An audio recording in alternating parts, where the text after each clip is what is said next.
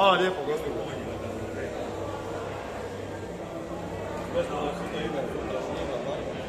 Hoćeš malo džina unutra ovoga, ha? Ne. Mislim, možda bi lakše kliznuli. Vjerujte mi, dug je dan. To je priče od jako dan.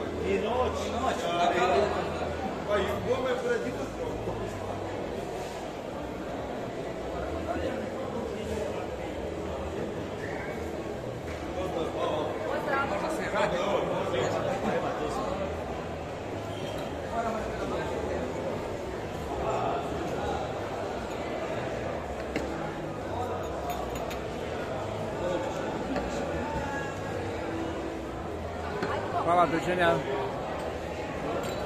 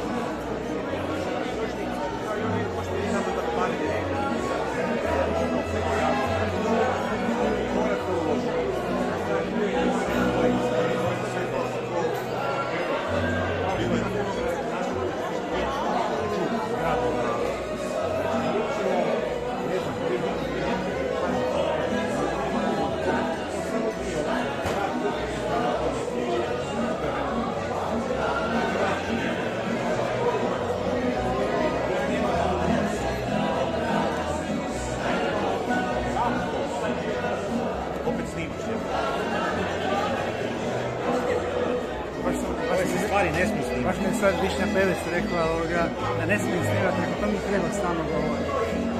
Snimio sam Smijaš baš... ti snimat, ali povjerljive stvari...